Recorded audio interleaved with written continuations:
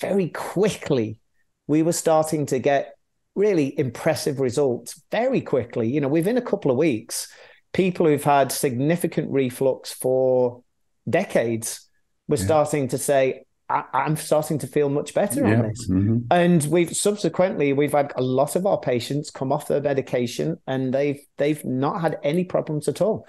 Yeah. And what I'm also going to say is that I tried it out myself because I've got a little bit of reflux, and within three or four weeks I had no reflux anymore. And what's interesting about it, again is I sort of feel sometimes you can feel it coming back when you're not training on the IQoro, and then it's just literally for me, I can get back on yep. it Top and I'm retraining those neuromuscular pathways. So again, like everything, the brain is controlling the way the nerves and the muscles work.